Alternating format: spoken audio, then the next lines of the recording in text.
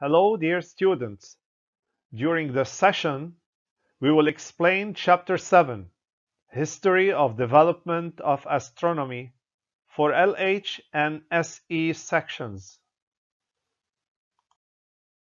By the end of the session, you will be able to explain the geocentric theory of Aristotle and Ptolemy, explain the heliocentric theory of Copernicus, use Kepler's laws, state the contributions of Galileo and Newton to astronomy, and define astrophysics.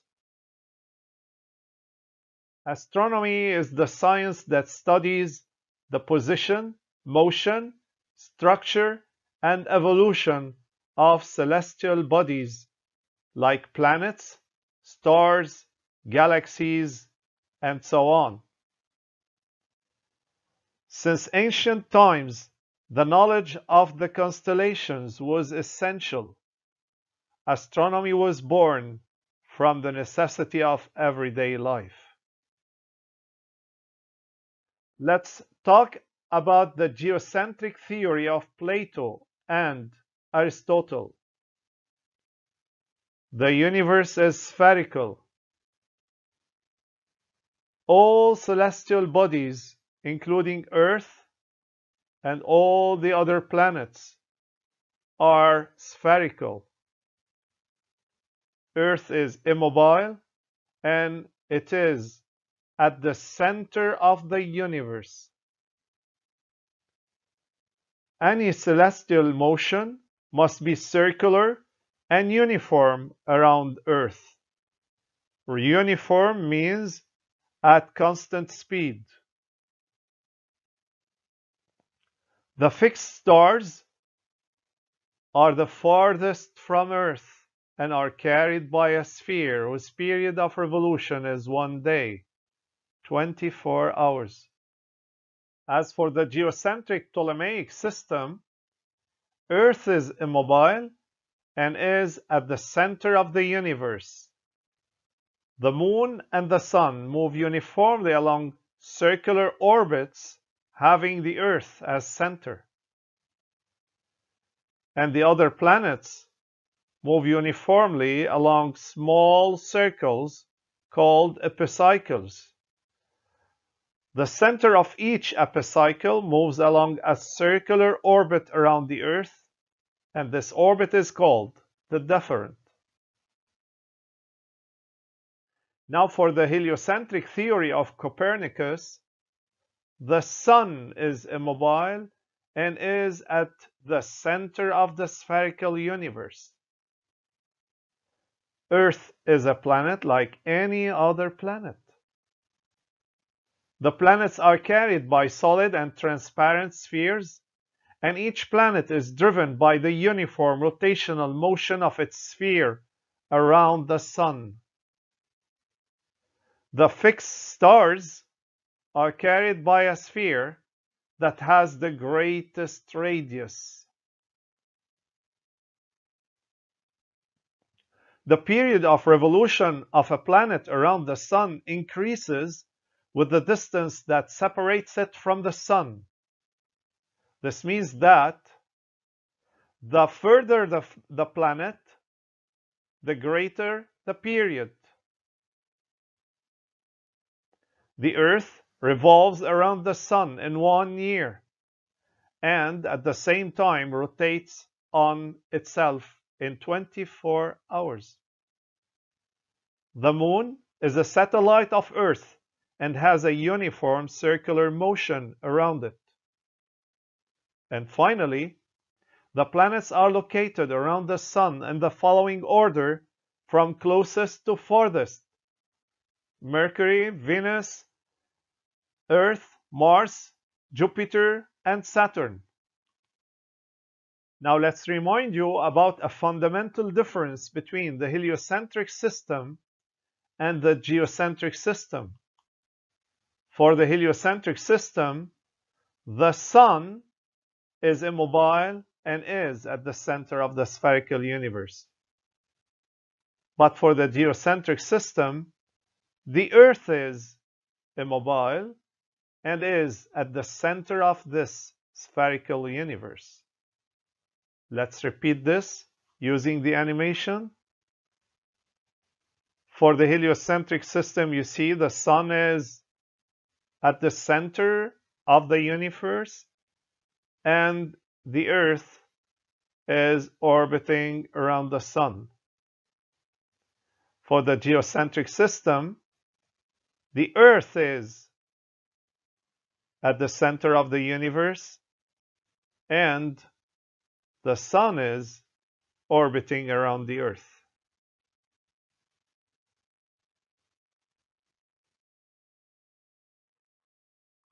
Now here let's talk about three of the most important laws in the history of astronomy.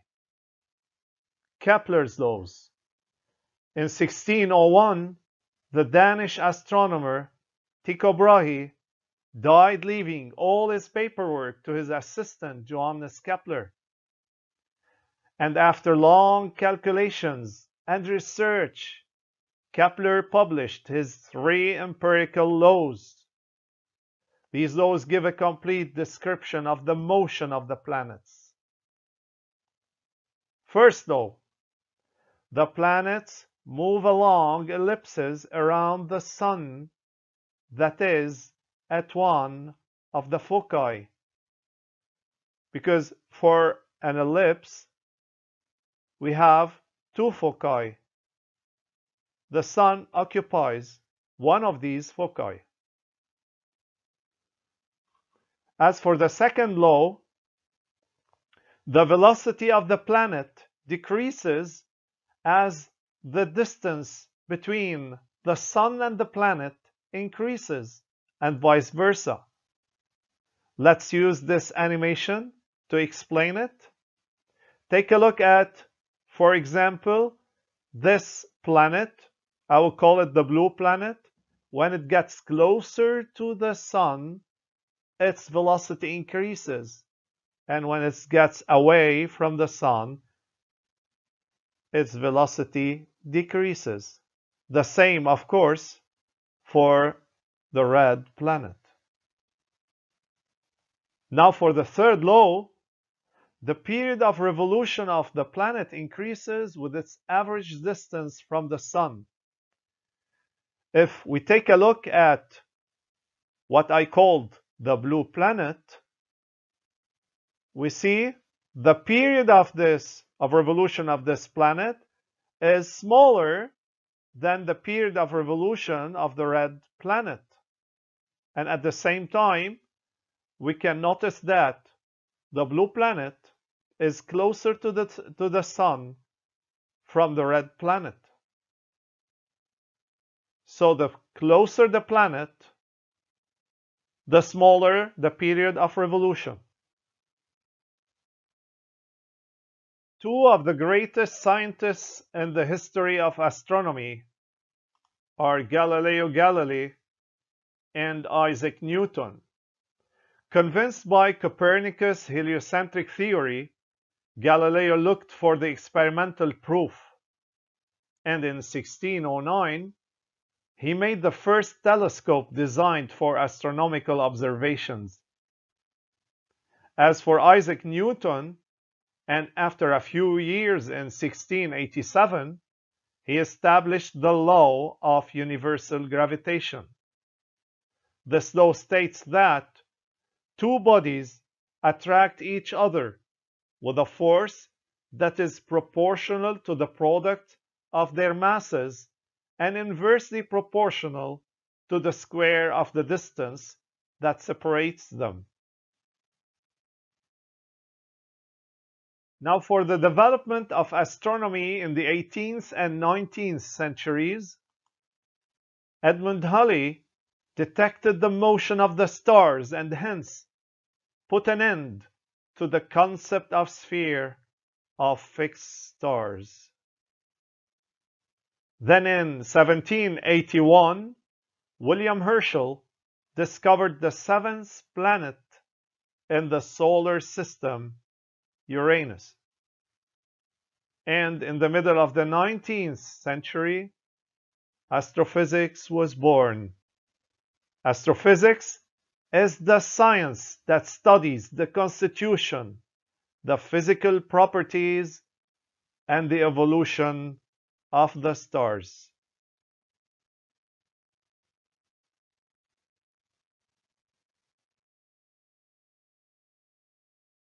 Now let's do an exercise. The planets are located around the Sun in the following order from closest to farthest. Mercury, Venus, Earth, Mars, Jupiter, Saturn, Uranus, Neptune, and in the table below the names of certain planets are missing. And the periods of revolution are given in days and in years. Complete this table.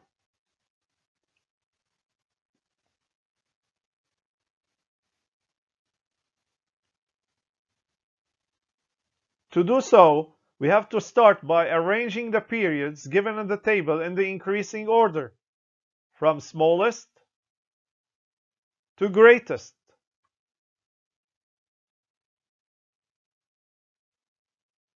Then we write what is given in the text. So we put the planets in the same order. And using these two pieces of information and applying Kepler's third law, then we can correspond each planet to its period of revolution.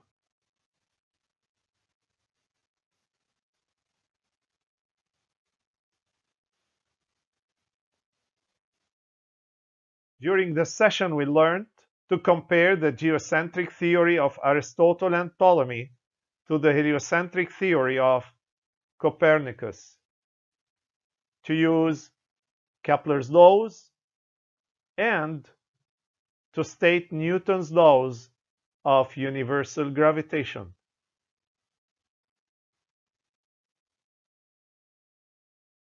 Now here I will leave you with the astronomy timeline references and links. See you next time in another session. Thank you for watching.